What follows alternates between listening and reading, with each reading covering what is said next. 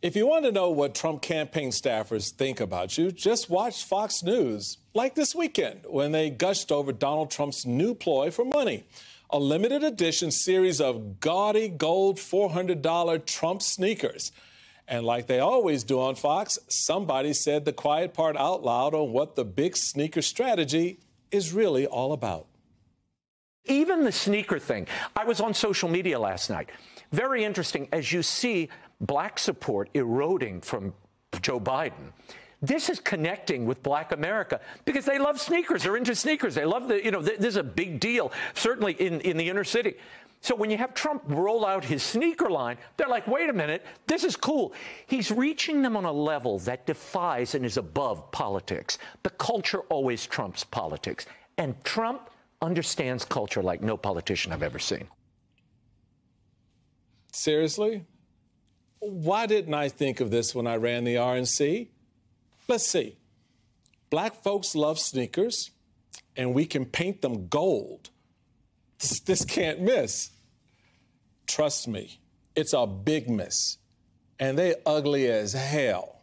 Angelo Carusone watches a lot of Fox as the president and CEO of Media Matters for America, and he joins me now. $400 kicks? Gold? Are they really this cynical over there at Fox? Yeah, and you know, this same guy, uh, about a year ago when Trump's mugshot came out, said that black people can, quote, relate to Donald Trump now, and that it was actually going to increase his black support because he had, quote, street cred. Oh, um, this is yes. the same guy. Yeah. So y- yeah. in some way, this is not just a one-off. This is part of a pattern from from him and, and Fox News more broadly. Uh, it just, yeah, you know, the mugshot. Yeah, I guess that works for us too. Um, we're used to seeing Fox do these types of things. We're used to seeing them demonize minorities and sort of play up the sort of racial angle on these things.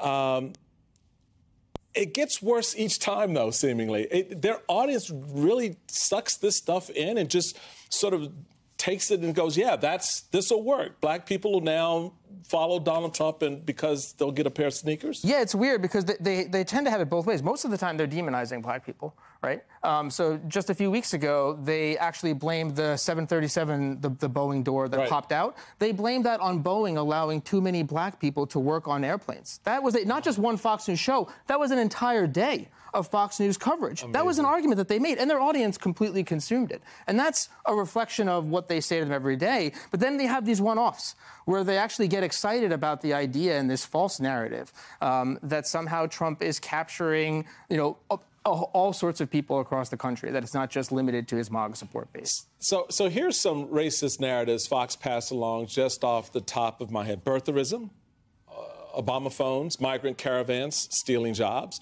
Uh, they just had to apologize for a live broadcast showing the guardian angels roughing up a guy uh, they said was a migrant who actually is from the Bronx.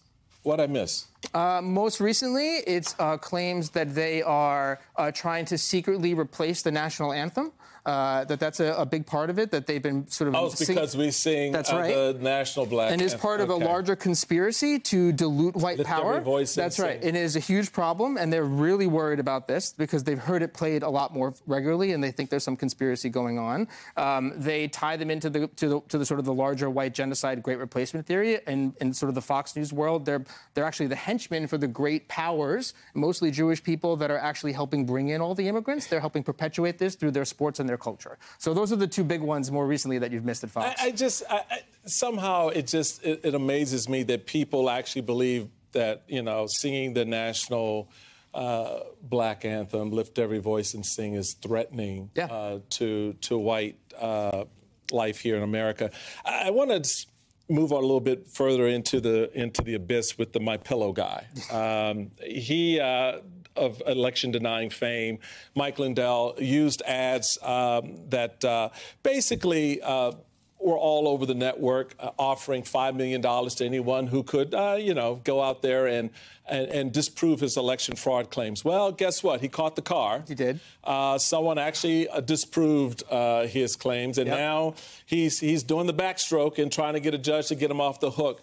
Um, what's wrong here? And, and, and, and what does that say that he thought he could actually get away with the big lie like that? I mean, part of it is that he got high on his own supply. I mean, there was a, a, a, he believed to a degree that he could sort of he could manifest this through enough resources. And why wouldn't he believe that? You know, he was spending he was Fox's single largest advertiser for years, and the result of that was just through force of will, he was able to push all kinds of nonsensical conspiracies and chicanery, not just into Fox, but into the right-wing echo chamber. So he had had a track record of using his money and his resources to manifest false narratives into reality, and Trump was a conduit for that. So in this instance, he gets out there and says, "Nobody can prove me wrong." Five million dollars, and he just assumes that he can bluster and might, his, might, might make his right way through it. Let, us take a little listen of Mr. Lindell.